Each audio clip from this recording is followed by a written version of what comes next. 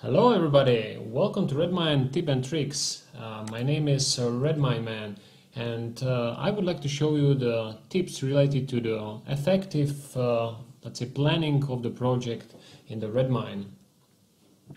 So let's count that you have a scope of the project to create the eShop and uh, what I am going to do uh, as usual and probably as some of you is to prepare first of all the list of the tasks related to the particular phases which needs to be done. And uh, sometimes I'm also using the, the Excel file uh, which is the easiest way for me where I am putting the phase for example analysis design uh, the create the logic of the of an eShop testing and following by acceptance of the of that product and uh, then creating that particular task to every phase like uh, uh, prepare the work workshop with the customer to specify the requirements then create such analysis report create uh, layouts text news for that e-shop and plus uh, the catalog of the products admin section and whatever. So this can be the classic project but how to improve the efficiency uh, in the planning to use such a tool as for example the Redmine. So here in the Redmine is a list of the e issues, how it's, it's called, and it seems in the classic raw format. Like you have an issue by issue, but it's not uh, well organized, the structure is not well prepared and uh, visible just only in the row. But on the other hand, if you will use, for example, the VBS plugin, which are strictly recommend, then you will be able to see that in the different structures, like create the project, then the dependency to the phase, and then every phase can have, for example, the uh, particular task. So everything is very quickly visible and organized for uh, reading. So let's have a look how it seems the first format in the Redmine and then how to work in the VBS. Just create a project called eShop and now we can start to, to create the phases for, for that project. Uh, for this purposes can be used, uh, uh, let's say, different tracker which enables us to uh, divide the, the type of the issue. Uh, in the one hand, we can have a task and, uh, for example, the bug if we are monitoring the let's say problems on the on the project and also we can create the, the phase as a type of the of the issue. So let's start with analysis. Then with uh, design. Then continue with the logic of the eShop. Then testing. And finally the acceptance by the customer so let's return back to the issues and we can see the list of the, of the phases uh, in here. And now we can create a particular task like the workshop.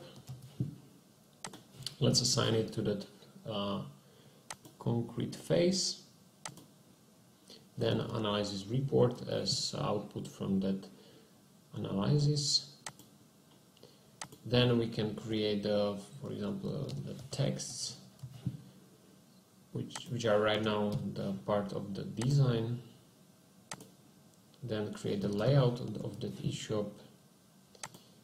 And for example language optimization.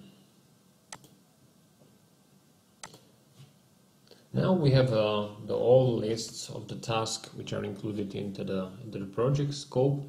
But as you can see in here it's visible only in the raw format. But what I would like to have is kind of uh, structurized format uh, similar to the VBS, but uh, it's not in here. Uh, somehow can use, for example, the Gantt chart, which enables you to see that in the in the relationship, like you have a task which are under uh, another task, and this task is representing by the face. So it enables us to somehow uh, see that more structurized. But it's not fully enough uh, what I would like to see and I will then demonstrate it into the plugin called VBS. Some project managers also using the, the versions like you can see in here uh, where you can name the, the version based on the phases of the project but I would not recommend it because if you look into that version it's uh, just only the milestone in the in the time so here you can see just only the the date of that milestone. So it's not limited by the start date and the due date. On the other hand if you have a look into into this acceptance which is just a type of the task uh, using the tracker called phase is uh, limited by the start date and due date. So this was basically the let's say project planning in the in the classic Redmine. The task in uh, or draw the task in more or less graphical form by using the VBS plugin as a work breakdown structure. So here what you can see is a kind of uh, dependency which I already create related to the project eShop and then I just create the phases. Uh, the different colors are described in here on the left side where you can see like um, mark to, to red that it's called project, then to blue it's task and the green is a phase.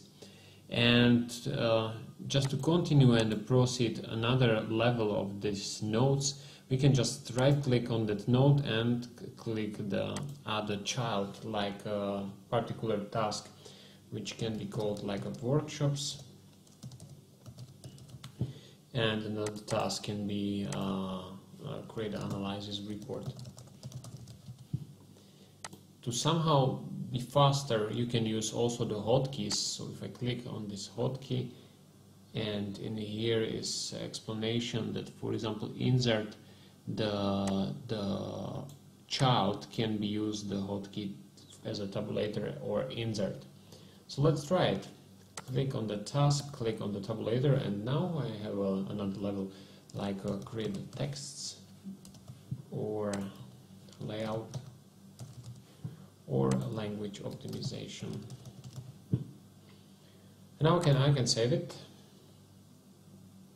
And here the color uh, was changed to blue as uh, another level, uh, as a type of uh, tracker called task and we can switch to, to the task list and in here you can also see the this this task which we already created like a acceptance analysis which are representing the phase and then under under every phase is a particular task like analysis report or the workshop.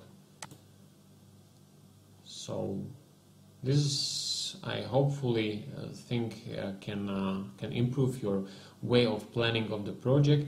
And in another webinar, we can also have a look into the easy Gantt and another option uh, how to then track with the task once you create it simply by using the VBS.